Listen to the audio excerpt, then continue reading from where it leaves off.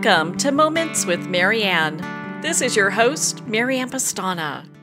And we're here today with special guest, Jason Feifer, who's here to share with us his new book, Build for Tomorrow An Action Plan for Embracing Change, Adapting Fast, and Future Proofing Your Career. Change in business happens so often. Are you prepared to excel in the next shift? Well, we have the right person today to answer just that question. So, Jason Feifer is an author and the editor in chief of Entrepreneur Magazine, host of the podcast Build for Tomorrow and Problem Solvers, a keynote speaker, startup advisor, and nonstop optimist machine. His goal is to help you become more resilient and adapt in a world of constant change so you can seize new opportunities before anyone else does. So let's welcome to the show, Jason Feifer. Thanks for having me. Great to be here. What an honor it is to have you here and to talk about this book. My goodness, like what even inspired you to write this? Well, I had noticed through my work as editor in chief of Entrepreneur Magazine that the thing that seemed to drive success when I was looking at the accomplished entrepreneurs I was meeting, the accomplished leaders, the thing that seemed to drive success across them all was adaptability. It was the ability to see change, which was always happening, as an opportunity. And I got to wondering how that happens. How do people become good at that? Because it's definitely not something you're born with, it's a skill you can learn. And the pandemic turned out to be an incredibly instructive moment because we all got to see everybody go through the same change at the exact same time and then radically diverge in what they were doing. And some people tried to cling as hard as they could to what they felt they were losing. And other people started to very proactively, or well, I guess not proactively because nobody could have predicted it, but actively redefine themselves and their work. And I wanted to know what it was that they were doing and how they were doing that because it felt like if I could understand that and share that, then I had something really valuable to offer everybody who was going through an endless series of changes. Well, in your book, you talk about the four phases of change. How did you find that and where did that come from? You know, it came from watching people go through radical change. I realized that even the most accomplished people were experiencing some kind of panic, but they were doing something different with the panic at the very beginning. It was really, really interesting. I'll give you an example. In the very early days, I don't, I don't know about you, but I, I remember, and I bet a lot of people remember the last social thing that you did before COVID changed everything. You know, do you remember that for yourself? And the last social thing that I did was I went out to a friend's birthday dinner at a crowded restaurant. And I, you know, we were all passing around our hand sanitizer thinking that that was going to stop any kind of uh, illness because nobody knew what was going on. And I was talking to this woman named Megan, who is the founder and CEO of a trade show company called FounderMade. And so they host live events, live trade shows. And I've spoken at a couple of them. And I said to her, Megan, I said, what are you going to do? Because it seems like live events are shutting down and you're a live events business. And she said, I'm actually really excited about this moment because we have had all of these ideas for other lines of revenue for our business. And we've never been able to explore them because all of our resources and energy keep having to be put towards the live events. But if the live events disappear, well, now we have time to explore these things that we had never had time to explore before. And originally, when I heard this, I thought this is a person who is not afraid. This is a person who is so poised that she is not panicking.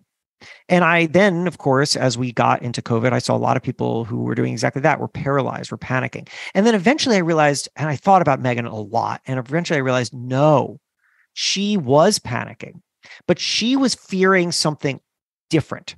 A lot of people fear loss. They fear loss. They fear the loss of the thing that they already have. Megan understood that there was a solution ahead of her. something always comes next. There will be something, some needs, some changes. People will need things from her. There will be opportunities in the future. The thing she was fearing was not losing what she already had. The thing she was fearing was not recognizing the next opportunity fast enough. And that was propelling her forwards instead of backwards. And I started to think, Everybody goes through panic, but they start to use that panic in different ways. But either way, no matter how long it takes you, the next thing you're going to do eventually is figure out how to adapt. And once you start adapting, you start to put some new pieces together and you build a new normal, something new that's familiar, some kind of new foundation. And then eventually you reach what I like to call the wouldn't go back moment. That moment where you say, I have something so new and valuable that I wouldn't want to go back to a time before I had it. I think that if we can recognize that that is part of the journey ahead of us, that we will get there, that the wait, the wouldn't go back moment is waiting for us all. It empowers us, it emboldens us to move through those earlier phases faster to do what Megan did and think, how can this moment of sheer terror and panic propel me forwards rather than becoming obsessed with what I'm losing and trying to look and hold on to what's backwards? What a great example of being able to move forward and eh, so unique too because I think a lot of times people do get stuck in that that fear and that panic and they're not quite sure how to make this transition to embracing change. Yeah, it's very, very hard. Let me be clear it's incredibly hard. And it's okay that it's hard. And it's hard for me. I've had to go through it many times myself. And the thing that I think people should do right now, whether you're going through a big moment of change or just to prepare yourself for the change that will come, because let's be clear, something fundamental will change about your work or your life. It just will. We don't live in static worlds. Is that you can spend time trying to ident- identify and understand what and who you are and the value that you provide to the world that is distinct from the role that you occupy or the tasks that you do every day. I think we are tying our identities way too close to the role that we occupy or the tasks that we do every day. So, you know, if someone comes up to you at a party and says, What do you do? Your answer is going to be one of those things. It's going to be the role you occupy or the tasks that you do every day. You're either going to be like, Oh, I'm the, you know, I do this job or I work at this company, or I do this kind of thing, which is fine. It's fine. It's not, it's not a bad answer. I answer that way too. But if that's the only way that you identify yourself, it's that if that's how you tie your identity, then when those things change, and they will, then you aren't just experiencing a change to your work, you're experiencing a change to your identity. That feels very scary. So the starting point I would suggest is think about for yourself. And in my book, Build for Tomorrow, I have a exercise for how to do this, but I'll just tell you the punchline. Think about for yourself how you could write a single sentence, a mission statement for yourself, a short sentence. Try to keep it under 10 words in which it's the word the first word is I and then every word after that is carefully selected because it is not anchored to something that is easily changeable. I know that sounds abstract, so I'll just give you my example. I am a magazine editor. I used to be a newspaper reporter. I also am a podcast host and a speaker. I do all sorts of things. But my sentence for myself is I tell stories in my own voice. Seven words. Why? I tell stories, stories, carefully selected word, not magazines, not magazine editing. Why? Because if I if my identity is I'm a magazine editor, well, you know what? I don't own Entrepreneur Magazine where I work. I'm an employee of Entrepreneur Magazine. They could fire me tomorrow. They could fire me right now as I'm talking to you. I could check my email and it turns out that I'm gone. And if my identity is I'm a magazine editor, I'm one phone call or email away from losing my identity. Nothing is stopping my boss from firing me. That's a dangerous place to be. I don't like that instability. So I tell stories, stories. Now I'm picking a word that is not easily changeable that I have control over. I'm telling stories right now.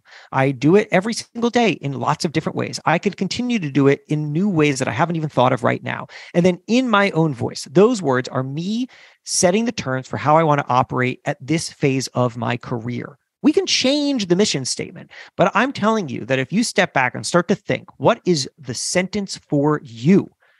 You will start to recognize that you have transferable value, that you have something that you love to do something you're good at, something that you can do for others, that you can find infinite ways to do that. So that if one thing changes, if the way that your work changes, if you get laid off or fired, whatever the case is, that you can say, there are other ways to do this singular thing because the singular thing has not changed. That could be I love building things. I like solving complex problems. I help teams achieve greatness. I help people find what they love. Whatever the case is for yourself, once you recognize that and really embody it and live it, you will recognize that the way that you're doing it now is just one way to do it. And when change comes, that's okay.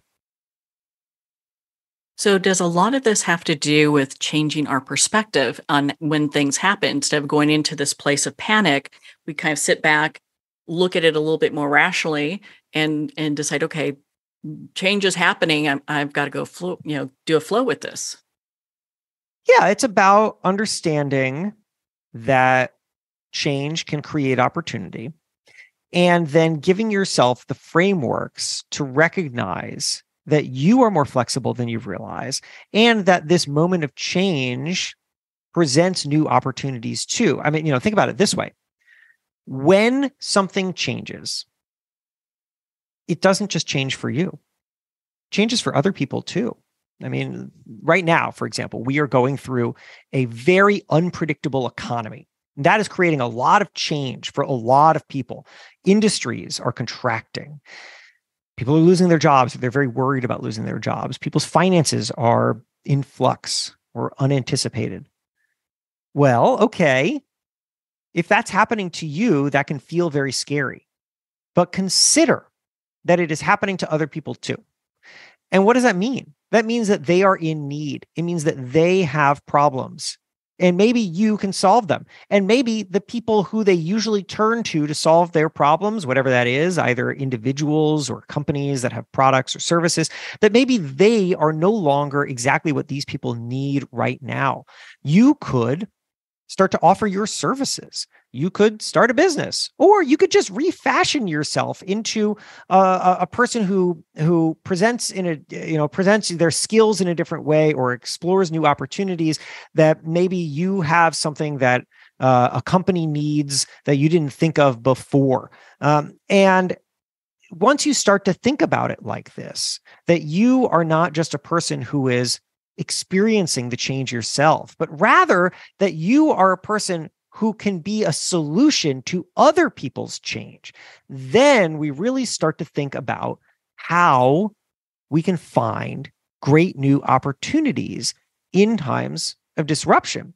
And there are a lot of things that you can do as well to start to prepare yourself for that. And maybe we should talk about that, which means, for example, that it's not just about understanding yourself, but it's also about constantly being aware of the skills that you have and the skills that you can build.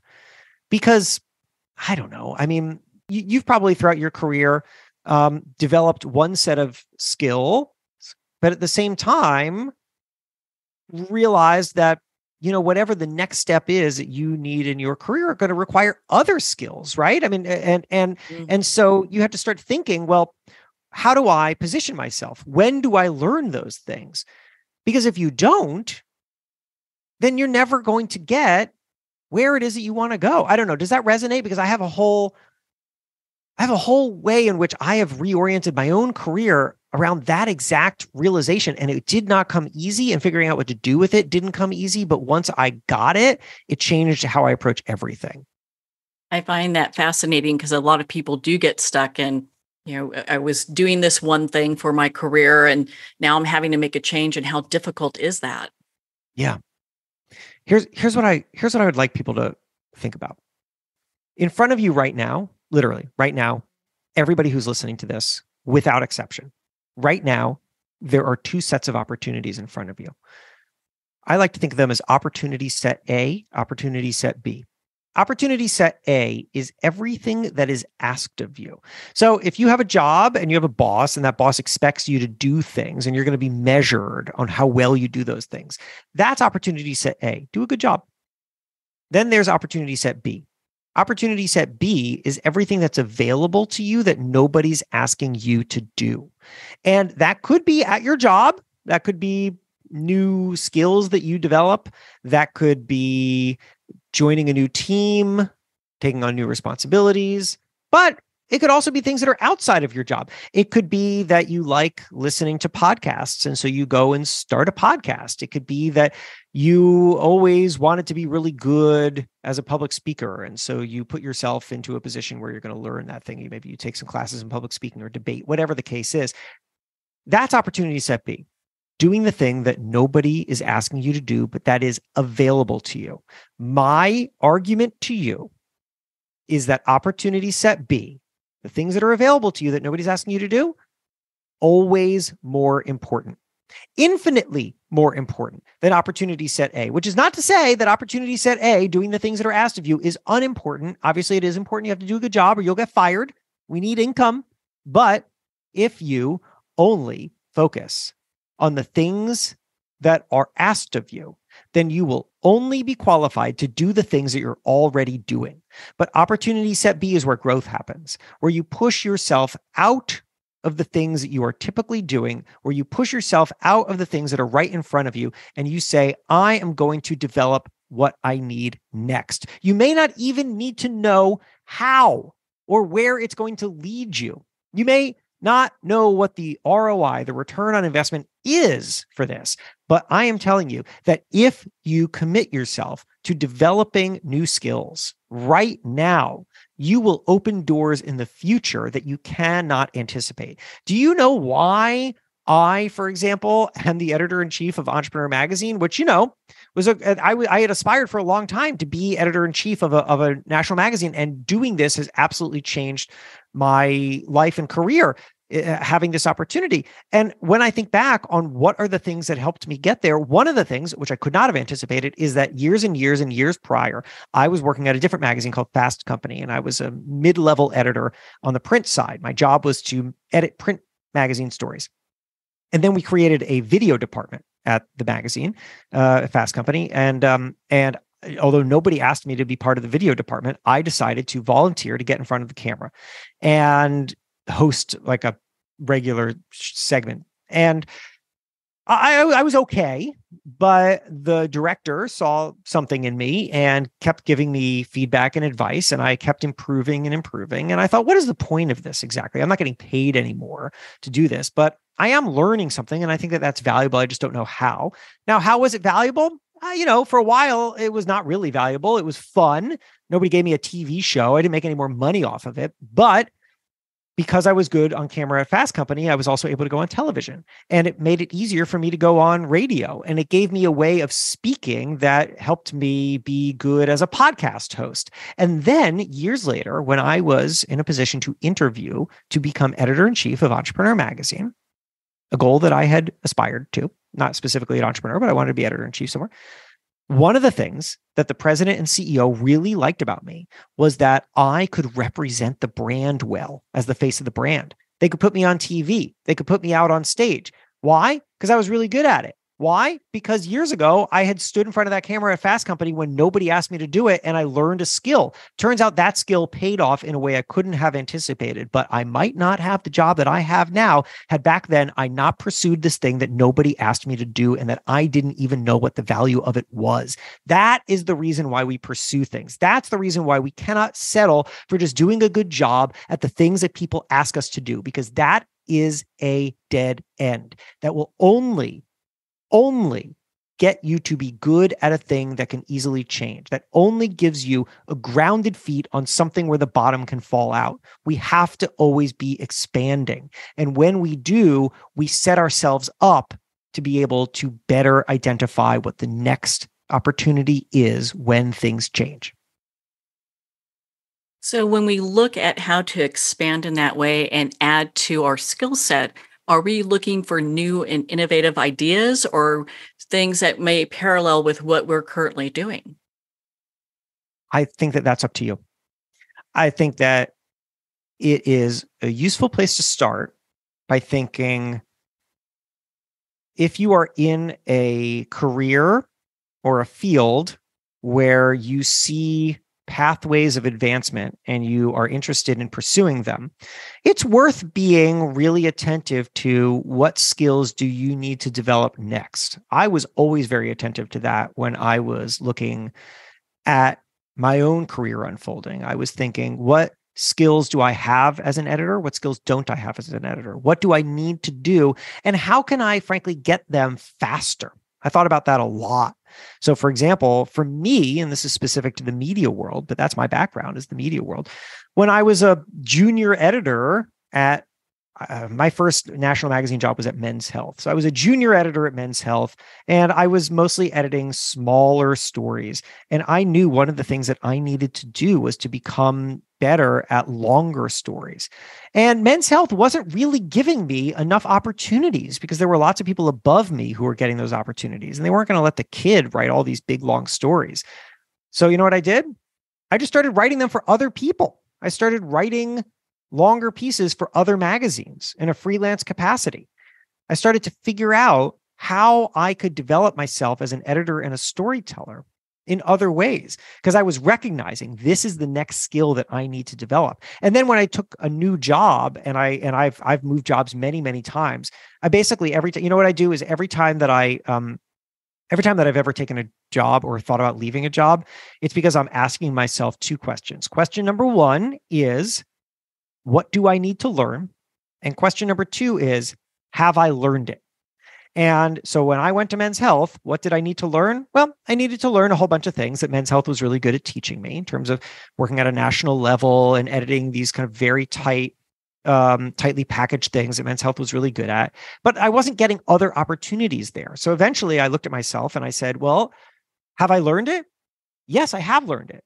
Well, then I have to go. I have to go somewhere else where I can learn new things. It's the reason why I kept switching jobs. What do I have to learn and how and have I learned it? And so when you start to think this way, you start to recognize the things that you need to know next and you start to accelerate your timeline for learning them so that you can accelerate the growth of your career. But that's not to say that everything that you do has to be linear like that. Some things can be totally asymmetrical, where you might say, you know, I would just be really delighted to take more seriously this thing that I'm interested in. And let's just use, I don't know, public speaking as an example. Let's say that you're in a role in which public speaking is not really demanded of you at all. And it may never be demanded of you, but you find it interesting. You've seen people speak on stage and you found that to be compelling. And you realize that you're not very good at it. Then when words come out of your mouth, they sound kind of stammering, whereas in other people's mouths, they sound pretty good. And you think, wouldn't it be good to know how to do that? Fantastic pursue that. Take classes. Put yourself in uncomfortable situations. Why? Because maybe you will develop that skill, or maybe you'll just develop the skill of doing new things, which is valuable by itself and will take you to places that you just cannot anticipate. And also, you'll learn skills that you will start to apply in ways that you cannot anticipate. So maybe because you took public uh, speaking skills, isn't it funny as I say public I'm like I'm stammering on it. As you take public speaking classes, maybe you become more commanding and convincing in meetings. Maybe you become better at interviewing for other jobs. Maybe you start to be able to represent your company or your industry at industry events, which raises your profile, which completely changes your career. You cannot know what is going to be an, ahead of you until you actually put yourself in a position of developing those new skills and then playing out how they impact you. So it isn't prescriptive in terms of whether or not this is something that you know you need or rather that or, or, or whether it's just something that you are interested in but either way push yourself because nobody else will well, on that note, we're going to pause here for a quick break. We've been speaking with Jason Feifer in regards to his new book, Build for Tomorrow. We'll be right back after these messages. Are you a coffee lover who wants to make a difference? Look no further than Fire Department Coffee, a veteran owned business that gives back to support first responders in need. Each batch of coffee is freshly roasted right here in the USA by a dedicated team of first responders and coffee experts. So when you enjoy a cup of fire department coffee, you're not only drinking high quality coffee, you're supporting members of your community. Start your day with a coffee that gives back. Visit firedepartmentcoffee.com. That's fire, D E P T, coffee.com. Are you looking to untangle life's riddles? Discover the profound teachings of Dr. Shai Tubali, renowned philosopher, best selling author, and your guide to self empowerment. With methods that harmonize psychological and spiritual principles, Dr. Tubali's wisdom offers a pathway to holistic transformation.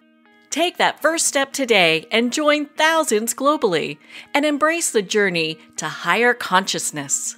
Visit shaitubali.com, that's S H A I T U B A L I.com now. Are you chasing profitability yet losing fulfillment? Let me introduce you to your solution, the Relaunch Company. I'm Hilary DeCesare, an entrepreneurial performance coach, fearless leader of the Relaunch Company, here to help put the pedal to the metal and relaunch your business your way. Visit www.therelaunch.com. Take the free quiz to learn three steps towards waving goodbye to burnout and hello to success. I'd like to thank Jason Eastwood at Guitarfulness for sharing his inspiring music and talent with us. His music is known worldwide for cultivating atmospheres of harmony, inner peace, and clarity. Visit Jason's website at guitarfulness.com. Join his newsletter, be part of his community, and download his music. Welcome back to Moments with Marianne. We're here today with our special guest, Jason Feifer, who's here to share with us his new book, Build for Tomorrow An Action Plan for Embracing Change, Adapting Fast, and Future Proofing Your Career. Before we went for break, we were talking about what it takes to future proof your career. And it seems in many ways you've done that yourself. Yeah. But I also created the job that I have right now based on the skills that I wanted to develop. Right? It's not like I went out and I found the exact right skills and then they were the set of keys that unlocked the right door for me.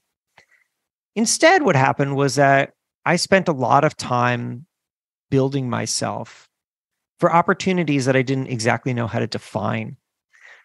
But I had also programmed myself to always be thinking about what new opportunities are available because I am doing something. Right. So, as soon as I became editor in chief of this magazine, for example, I thought, what are the opportunities that are available now that go beyond just doing a good job at the job that I have? And the answer was fascinating because the answer was that, well, I could establish myself as an authority in a field. And if I do that, I will have a following and I could write a book. And what will the book do for me? Well, the book, I guess, could also then lead to speaking opportunities. And the speaking opportunities could lead to consulting. And the consulting could lead to, right? You see what I'm doing? I'm trying to think through how one opportunity leads to the next, and then taking very seriously what it would mean to go down that path. And we can all do this at any time. But if we don't go through that exercise, then we don't have theses on what growth looks like. And if we don't know what growth looks like, well, then we may never produce, pursue growth to begin with. And I really love, I really love, and I've always done this throughout my career, having a plan and then having a plan to abandon the plan right? All those things that i just said there some of uh, some of them i do some of them i don't exactly do. I'm not really a consultant.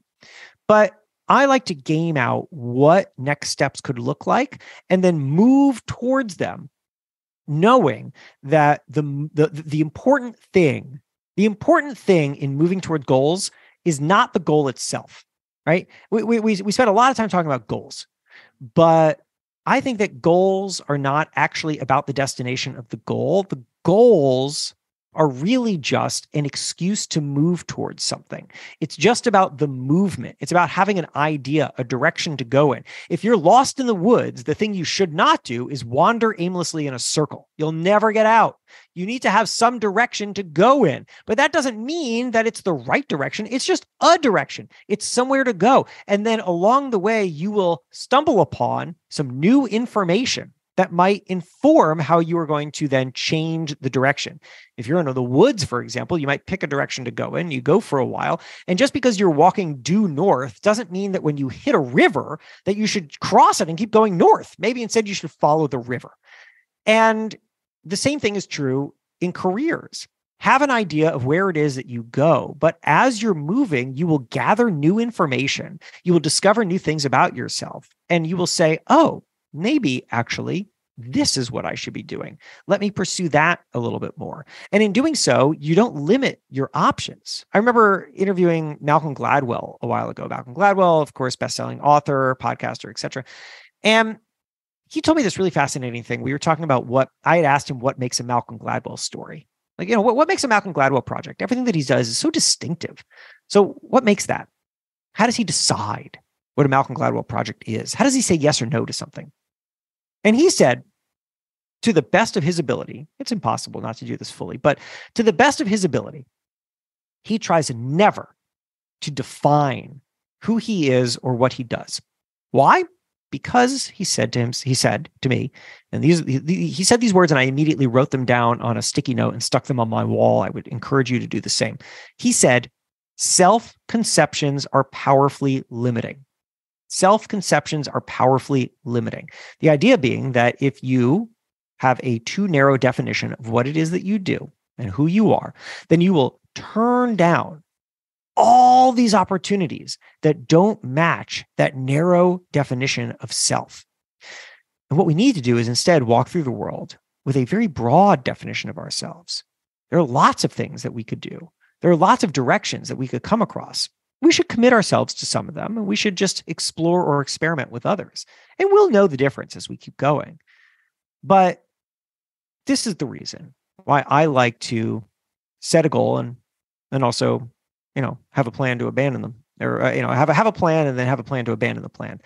Because I want to have a sense of where it is that I could go and things that I could do to get me there. And I will do those things. But the doing of those things are going to reveal additional opportunities that I didn't foresee that might actually be better than the initial goal that I stated.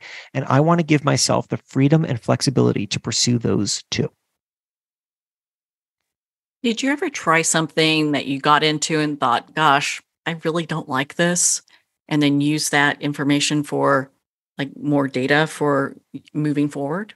Oh yeah, all the time. I've done. I, I've, I mean, I've done so many things that I don't think were all that useful, but they helped me refine an idea of what it was that I wanted to do, and I think that that's great. I, I mean, I don't know. I'll give you, I'll, I'll give you um, an example for a while, I had this idea that I would be a comedy writer. And um and you know and I, I got a few pieces like uh, the New York Times ran a comedy piece of mine in their op-ed section. It was a lot of fun, and I devoted a lot of time and energy to this, and I started to game out what it was that I would what like if I got good at this, if I started to write a lot of comedy pieces and get them published, I started to establish myself as a comedy writer where could I go with that? Uh, you know, I started to think about it to look at well, what's the pathway for people like that? You know, it's it's a lot of like you. Well, you know, I could become a writer for a late night show. I could, um, I could write joke books. I don't know. There are a bunch of random things that I could do.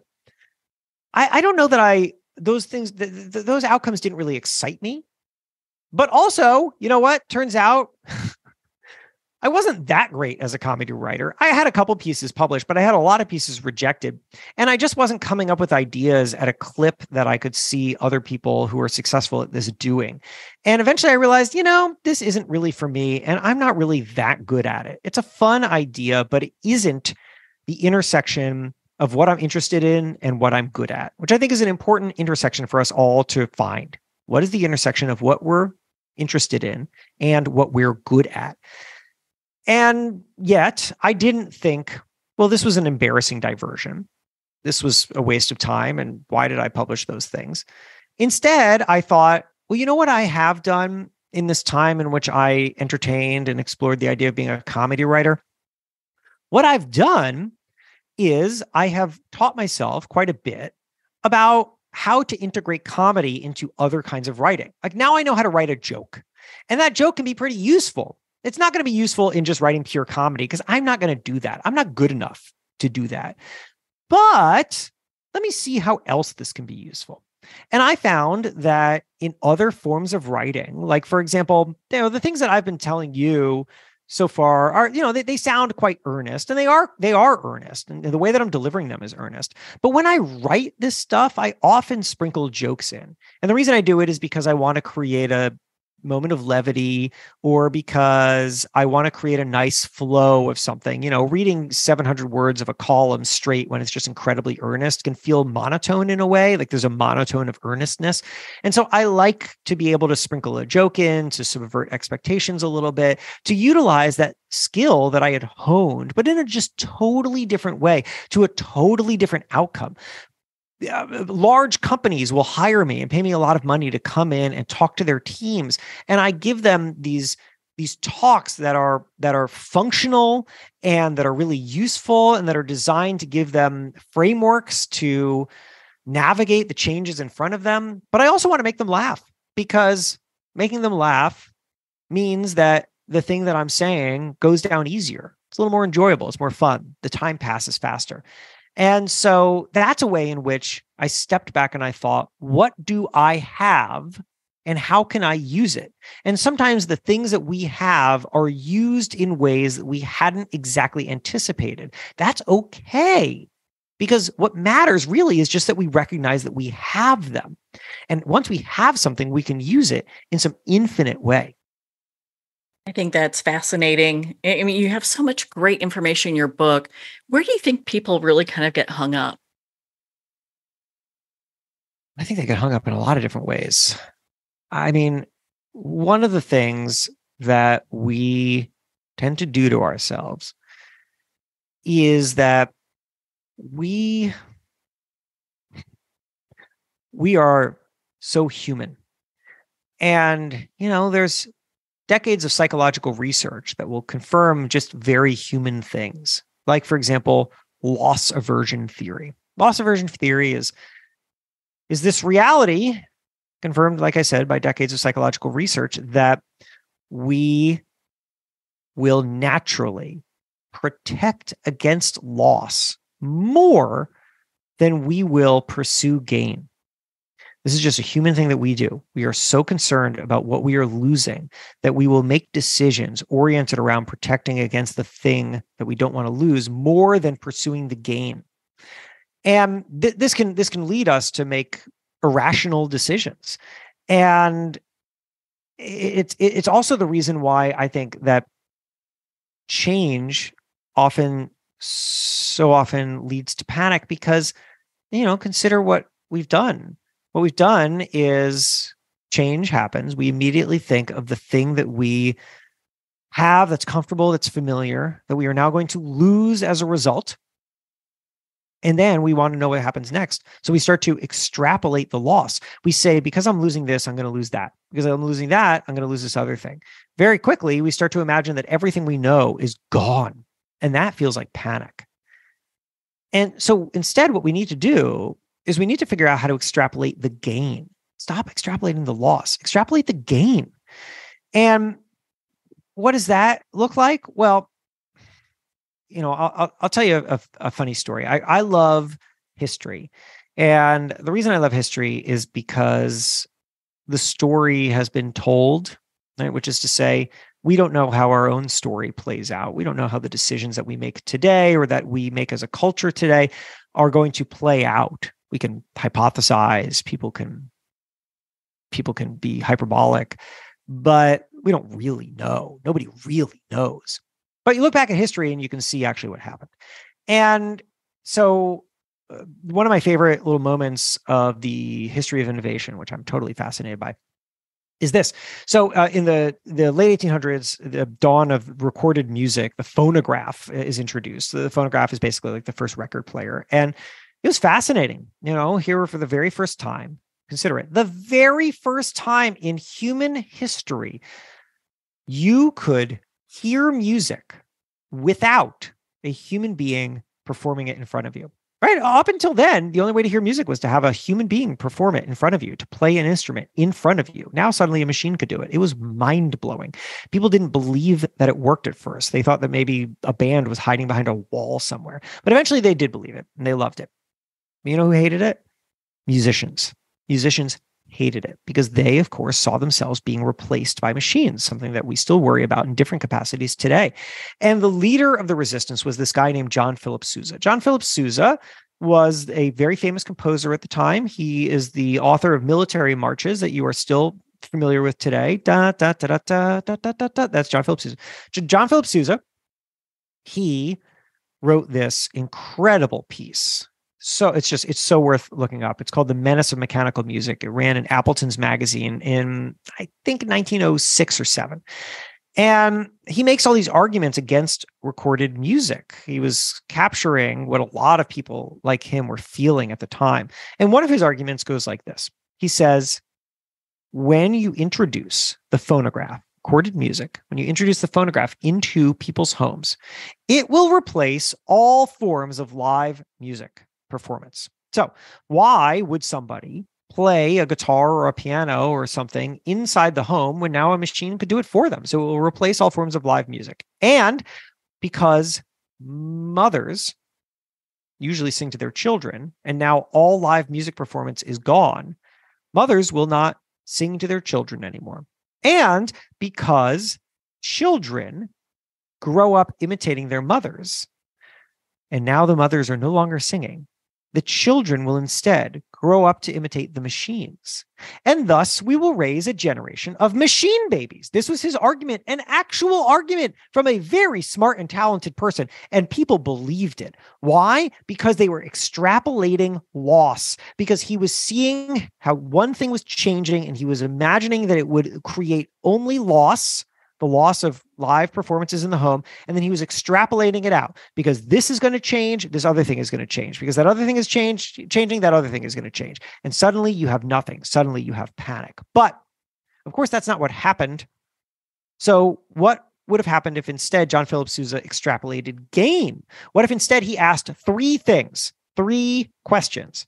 Please ask these questions of the change that you experience next. Here are the questions.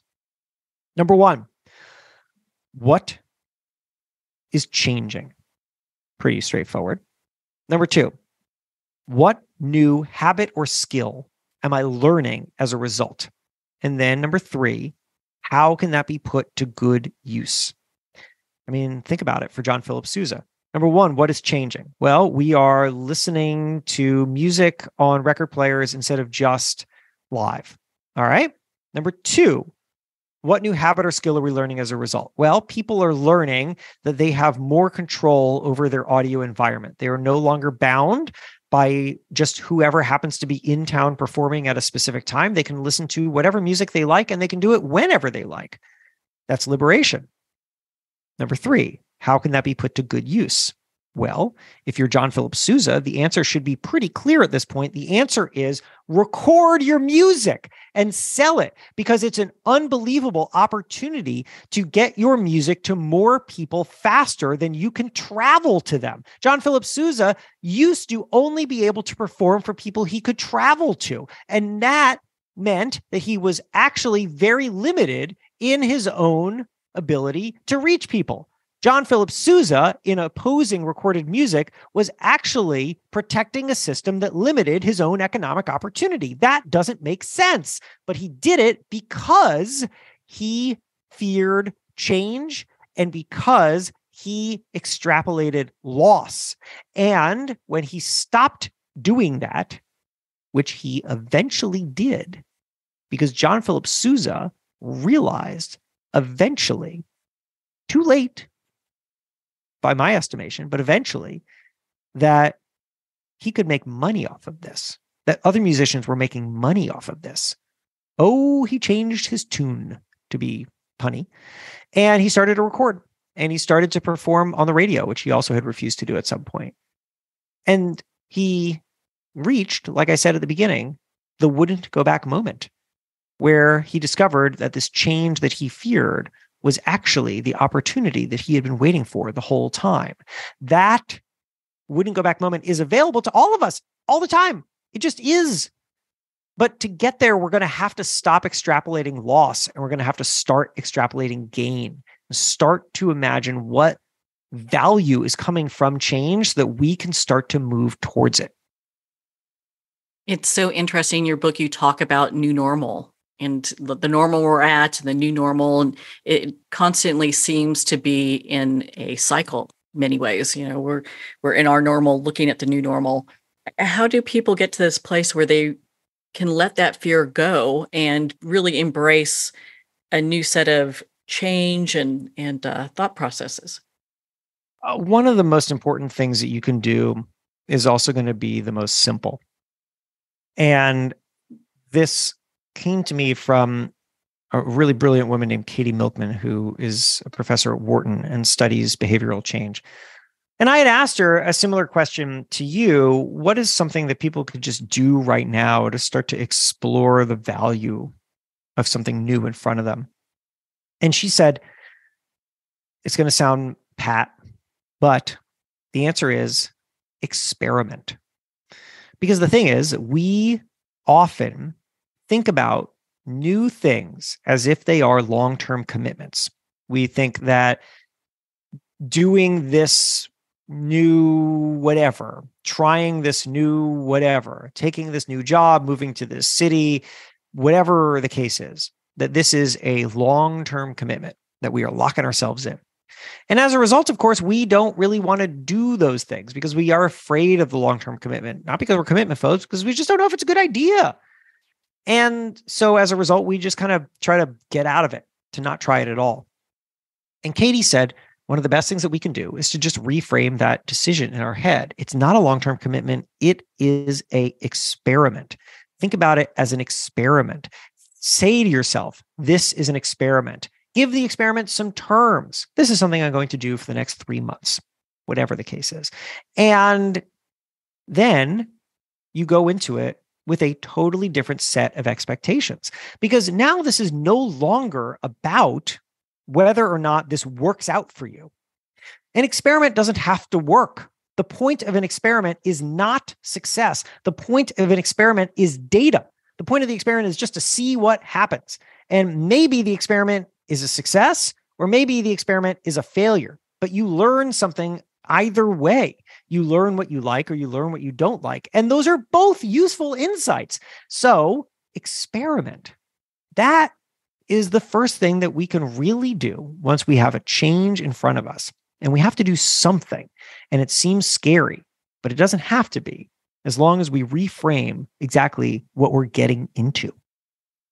So, how do we get to this place where we really embrace change? You know, our brains are like, hey, there's change happening.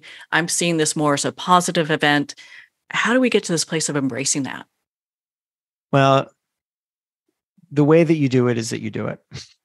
I mean, it's that sounds like a punt, but also I think anybody who has ever navigated some kind of change and come out on the other side of it will recognize that it just becomes easier the more that you do it. The more that you can prove to yourself that good things will come from it. I remember standing on, you know, uh, we talked about public speaking a little bit earlier.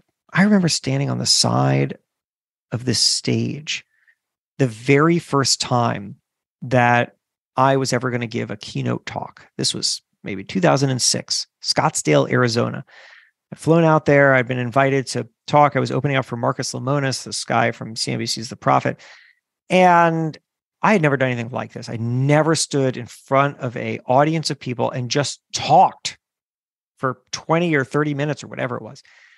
And I came up with a talk and I practiced it and I practiced it and I practiced it, but I didn't know if it was going to be any good. I didn't know if the audience would like me. I, I just I didn't know anything.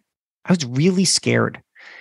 But I was doing it. The reason I was doing it was to go back to things that I was saying earlier because I it was opportunity set B. I wanted to know what would happen if I pursued this line of work.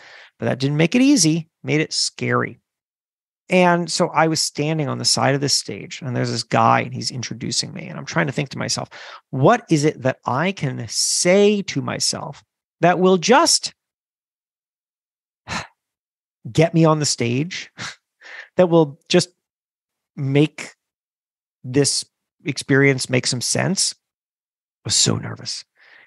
And then something hit me. A thought hit me.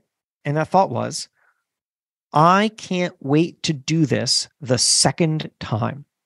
I can't wait to do this the second time because, you know, I came to realize that if, if, if I think of this as make or break, the stakes are very high. I go out on the stage, I don't know what I'm doing. It better be really damn good or else it is a disaster. That that makes it impossible to get out on that stage. But if instead I think the point of this is actually just to do it again, like the whole point of this is just to learn so that next time it's better. Because I don't know how to do this. Here I am standing on this stage. I don't really know how to do the thing I am about to do. But in 20 or 30 minutes, as soon as it's done, I will know so much more. I will know so much more than I do right now. And the only way to get there is to go out and do it. So I can't wait to get to the second time. That's the whole point of this. That changes the dynamics. That changes the way that I feel about the work that I am about to do. It lowers the stakes, just makes it about the experience. It makes it about what comes next. And that is part of the answer because we will have, we have, you have right now these changes in front of you. And you don't know what the stakes are or how it's going to feel. And so, what you do is maybe you avoid it, or maybe you wait until the very last second. Maybe you find some way out. But what if instead you just say to yourself, This is new. This is scary. Can't wait to get to the second time. First time is going to suck. Going to be uncomfortable. But I got to do it because I just have to learn what it's like. I have to not be the novice. And that means there's only one way out, and that's through. So I'm going to do it.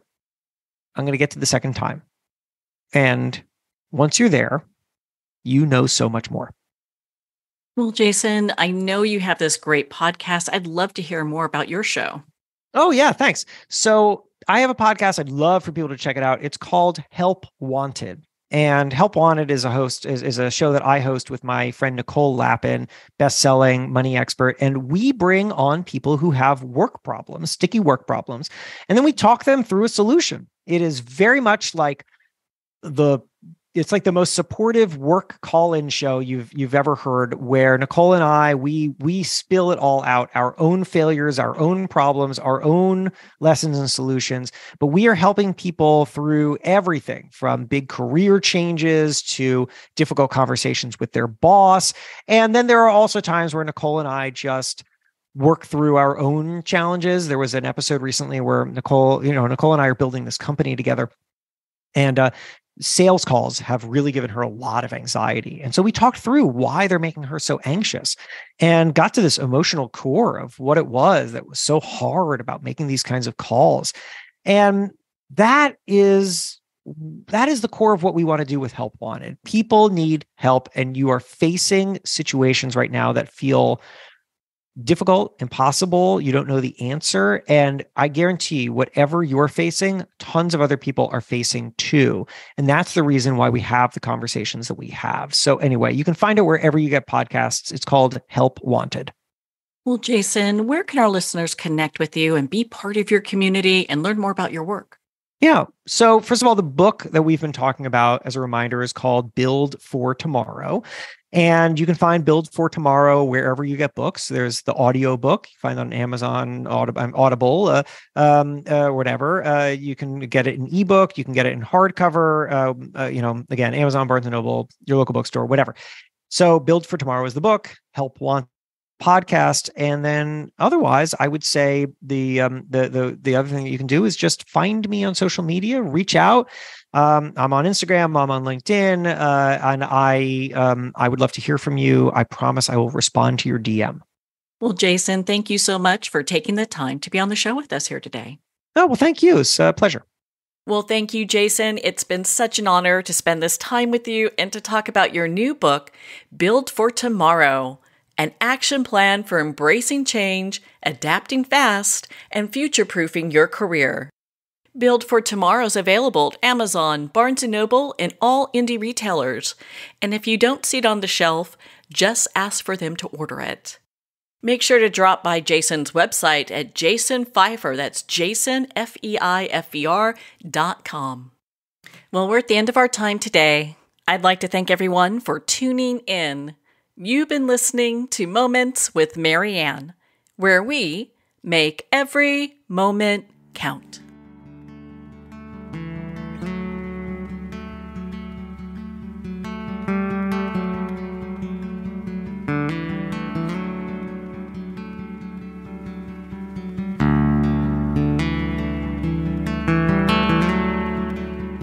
In a single moment, your life can change. Moments with Marianne is a transformative hour that covers an endless array of topics with the best of the best. Her guests are leaders in their fields, ranging from inspirational authors, top industry leaders, and business and spiritual entrepreneurs. Each guest is gifted and a true visionary. A recognized leader in her own work, and while teaching others to develop, refocus, and grow, Marianne will bring the best guest and sometimes a special surprise. Don't miss this. You never know just which moment will change your life forever.